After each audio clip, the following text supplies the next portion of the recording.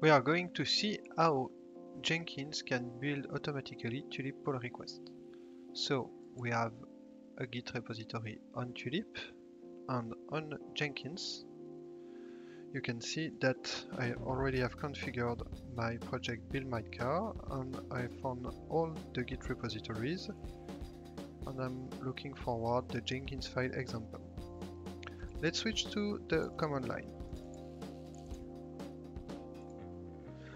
So I already have my development branch, feature 1, and I want to push the code to the uh, Tuleap server so I can create my pull request. So it's done.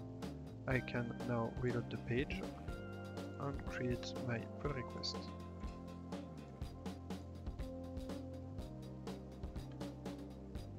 So Tuleap will communicate automatically to uh, Jenkins. We can see that the job is pending at a given moment.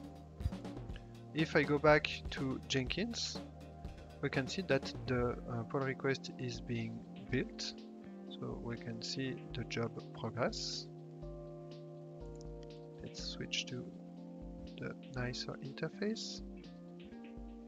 So my pull request was built and I can go back to Tuleap, reload the page, and I can see automatically the success of the build. Now I can merge my pull request and continue my development.